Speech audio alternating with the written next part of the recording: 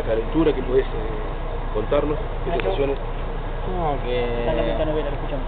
tiempo hicimos un primer tiempo bien, no, no llegaron al arco y segundo tiempo hicieron dos goles rápido y después la verdad que, que igualmente se podía y después con dos men- jugadores menos fue muy difícil y la verdad que muy triste. El Tano eh, muestra una imagen totalmente distinta, Unión, creo, a aquella de que le permitió ser tercero en el campeonato. Jugando así creo que va a ser imposible pensar en un, en un objetivo importante, ¿no? Sí, hay que mejorar, obviamente está, está muy claro.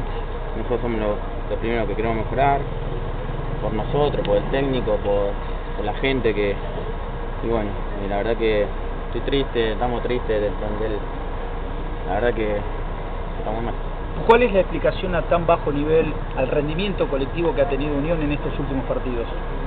Y si lo supiéramos, trataríamos de corregirlo. La verdad que yo creo que, que dejamos jugar como jugamos el, el otro eh, tiempo atrás y, y estamos jugando mucho pelotazo.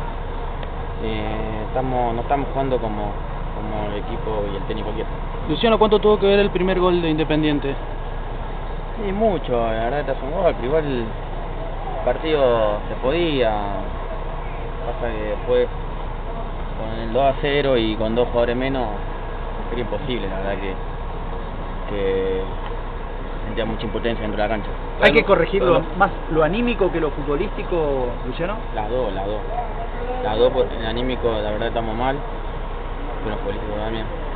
Así que hay que corregir las dos cosas.